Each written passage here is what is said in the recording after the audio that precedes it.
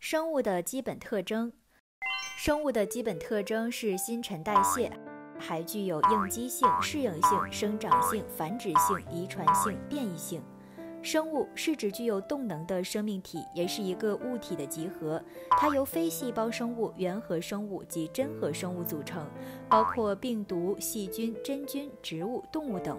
除病毒外，细胞是生物体结构和功能的基本单位。随着环境的污染与破坏，世界上的生物物种正在以每天几十种的速度消失，这是地球资源的巨大损失。因为物种一旦消失，就永不再生。